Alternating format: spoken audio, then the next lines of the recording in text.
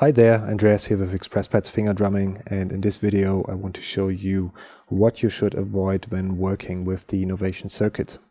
So first of all, when you work with headphones, and I tend to work with headphones a lot when I work with the Novation circuit, then don't have your headphones on when you switch the device on or off because um, the volume knob is quite uh, aggressive. So when you are in this position, which is the position that I usually work in, and you turn on or off, then you have a very loud click on your headphones and you don't want to ruin your ears, right?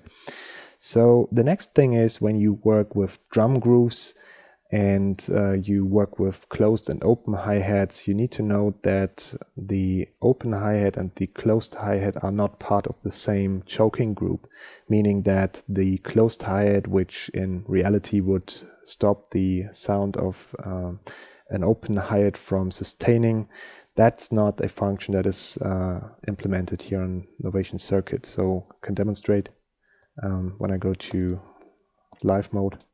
This is the closed hi-hat open hi-hat. I can just play them one after the other, but they don't have an effect on one another in terms of uh, choking one another, right?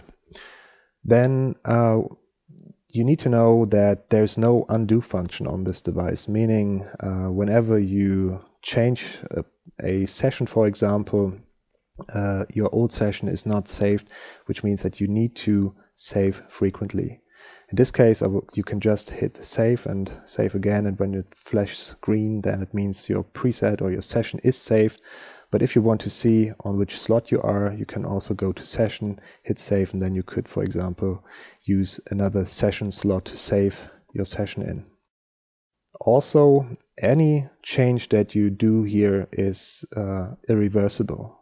So there's since there's no undo function, you can't get back to exactly the same point, especially when you work with knobs and faders um, to the point where you were before. And this means that you always need to be on time with your thoughts, with uh, what you're doing. So uh, you need to be very awake when you work with this uh, device. And there again, just save frequently.